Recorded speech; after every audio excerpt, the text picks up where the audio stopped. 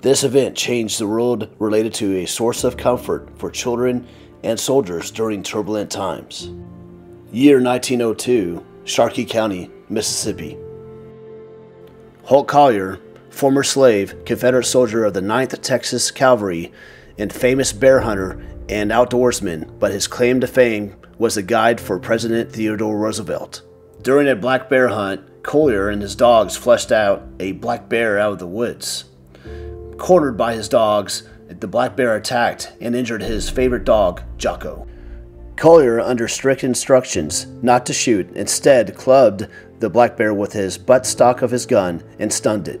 He then tied the bear to a tree and sent for the president to shoot the bear. As the president arrived, encouraged by all other hunters to shoot it, President Roosevelt instead passed.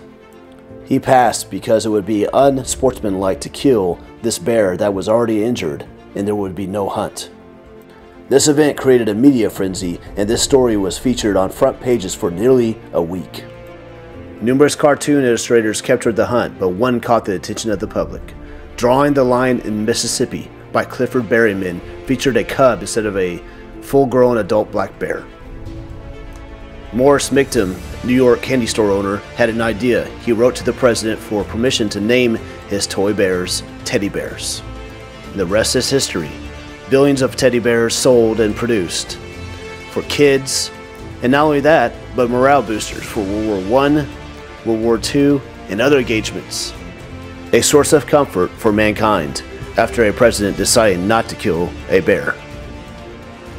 Video sponsored by Project Grit.